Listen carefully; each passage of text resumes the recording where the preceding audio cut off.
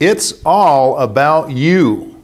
If you're not getting measurable results from your internet marketing activities, the kind you can put a rubber band around and take to the bank, then you are wasting your money and your time. Hi everyone, I'm Charles Broersma, founder of the Cazbah Total Internet Marketing Solution. We're working hard to help small business owners and managers like you crisis proof their businesses and double their revenue from the internet.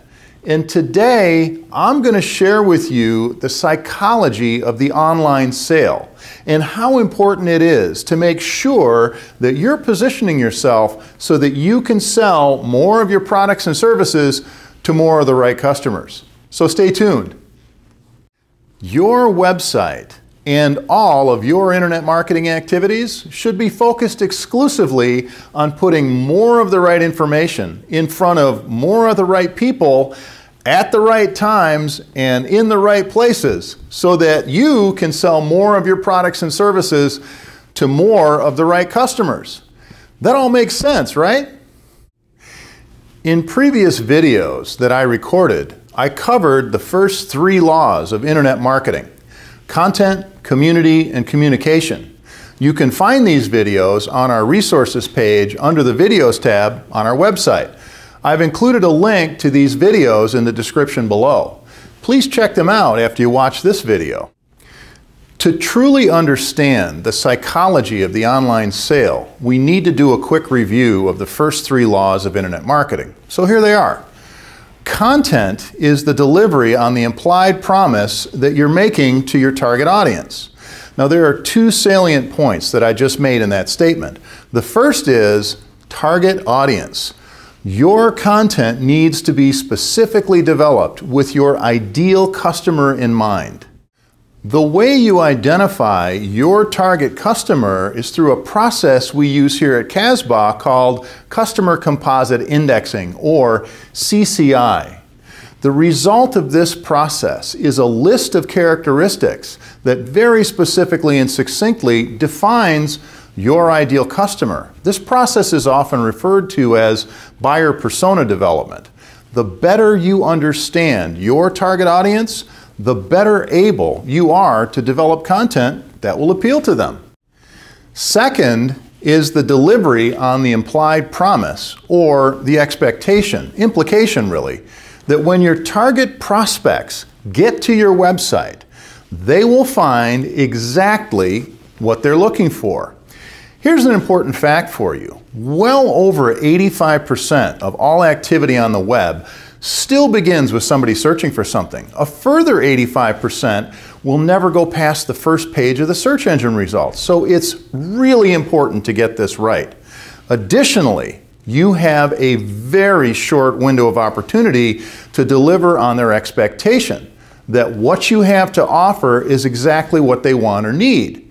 It's a well documented fact that most website visitors will form an opinion about your content within approximately eight seconds.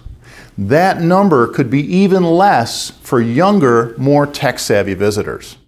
Community is all about getting your ideal prospects to validate you. You're trying to establish yourself as the center of influence in your industry.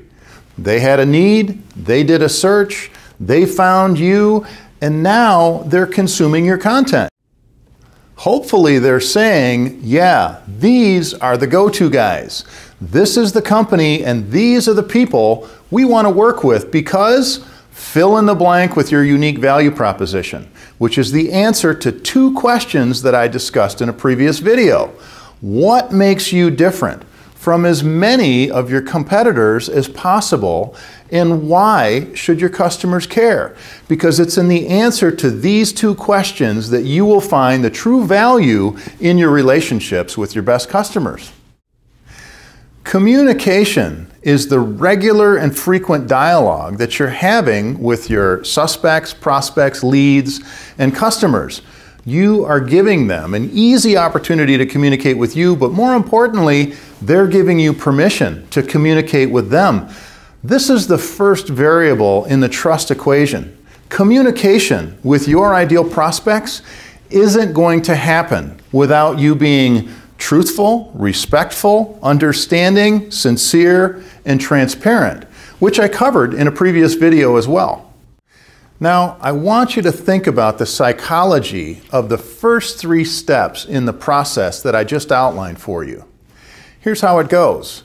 They had a need, they did a search, they found you, now they're consuming your content, and they are determining that you are the go-to guys, the people they want to do business with. Do you hear how this works? Basically, you were their idea. You can't get better than that or hope for more than that. Commerce is really a two-part definition. It's either selling your products online through your e-commerce store or reducing the cycles in the online sales process. Here's what I mean. There are a half a dozen steps in any sales process, and I want you to check me on this. They are suspect, prospect, lead, qualified lead, proposal, and close. Now I realize that we could blow that up or dumb it down depending upon the sophistication or not of your products or services, but for the purposes of this video, we'll call it six steps in the online sales process. When you get the first three steps of this online sales process right, where they found you, they validated you, and now they're communicating with you about a product or service they know you have that they want or need, you've just reduced the cycles by two thirds, taking them from a complete unknown suspect to a qualified lead, and they did it on their nickel and their time. Now, our customers have told us over the past 20 years that when they get this process right, there are two very specific product motives that are accomplished. First, by reducing the steps in the process, which is essentially the money value of time, you effectively get closer to revenue faster. Second, by using this process like a magnet where they are attracting only the right prospects and customers and repelling the wrong ones, you waste less time dealing with unfit prospects and spend more time with people who truly want what you have to offer. An additional benefit of dealing with fit prospects is they are more likely to recognize the value of what you're offering and less concerned about the price. Making sure that you understand the psychology of the online sale and that you have positioned yourself correctly will ensure that you sell more of your products and services to more of the right customers. If you like this video, please give it a thumbs up and make sure to subscribe to this channel so you can get all the updates. Be sure to check out the Cazbah Total Internet Marketing Solution at www.cazbah.net. You'll find a wealth of information, including a library of other videos that I've recorded under the Resources tab.